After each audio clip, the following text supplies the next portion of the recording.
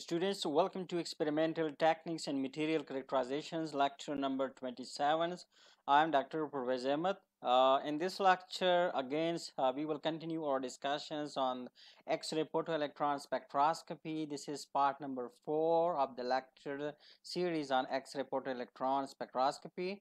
So here on, uh, we will discuss the concept of Auger electrons and Auger electron uh, spectroscopy. So let's proceed towards uh, today's uh, lecture. So we will start discussions from the X-ray and Auger uh, electron.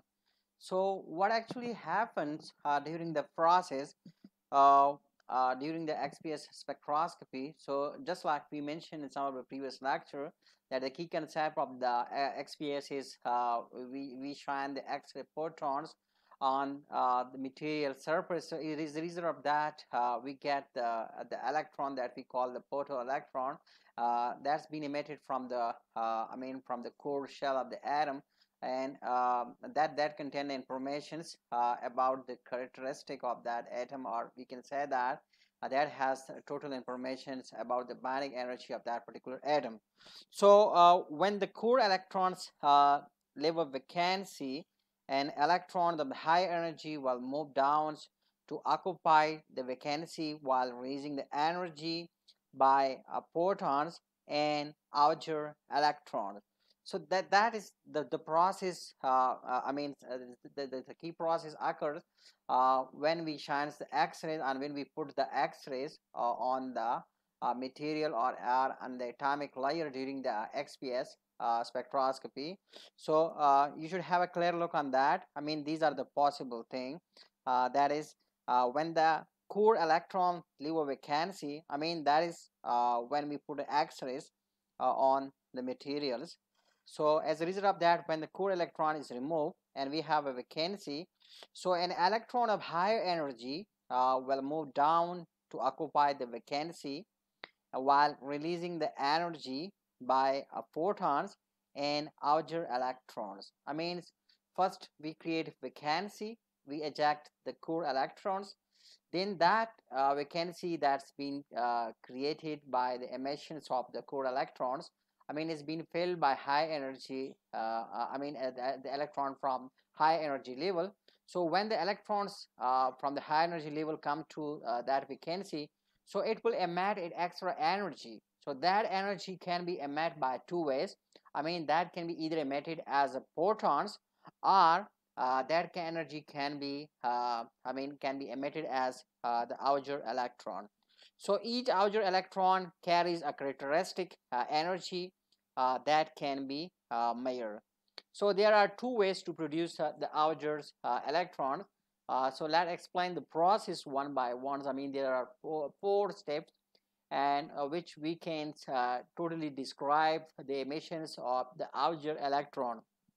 So first uh, the X-ray source can irradiate and remove the core electrons from the core levels causing the electrons uh, to leave the atoms. That is the first thing. I mean on the next slide or in the coming slide uh, we will we will show you the process. Uh, I mean we'll summarize the process with the help of I mean a sample diagram. So let me just first discuss the step uh, that's been involved uh, I mean uh, uh, in the production of the Auger electron. So the first step is uh, the X-ray source can irradiate and remove the electrons from the core levels uh, that cause the electron to leave the atom.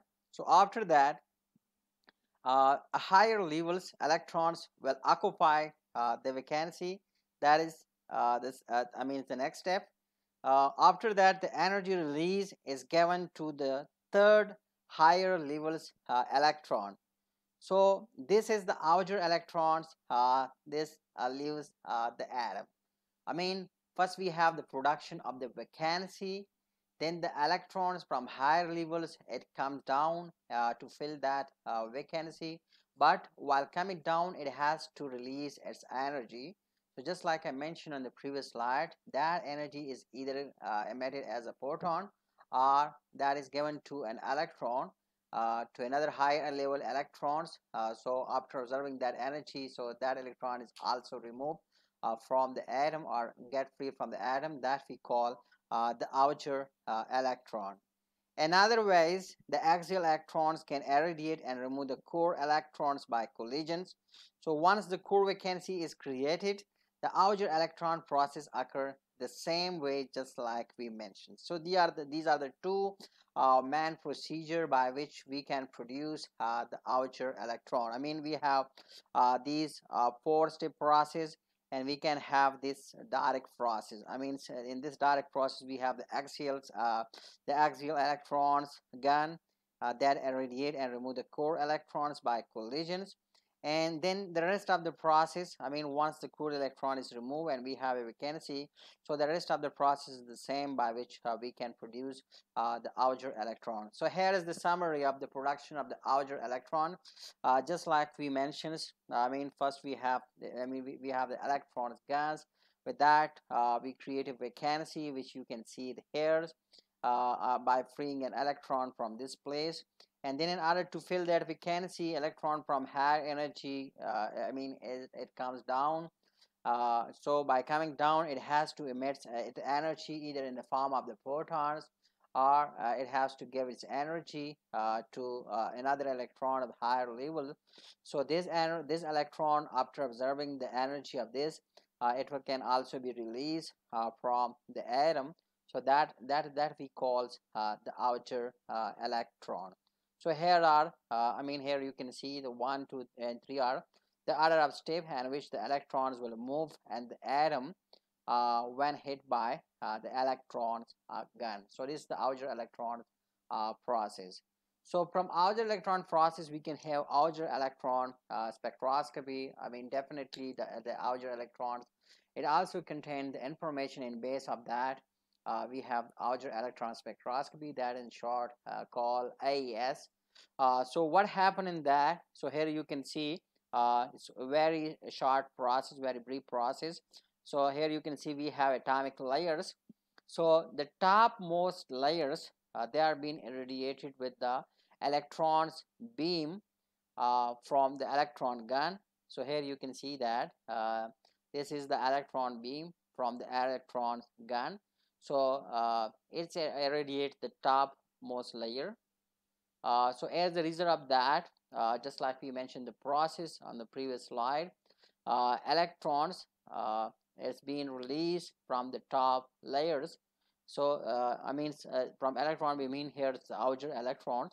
And these Auger electrons they are being characterized for the characteristic of the the materials so that's all we have for uh, the Auger electron. Hope you got the concept of the Auger electrons and its role in the XPS spectroscopy. So that's all we have for this lecture.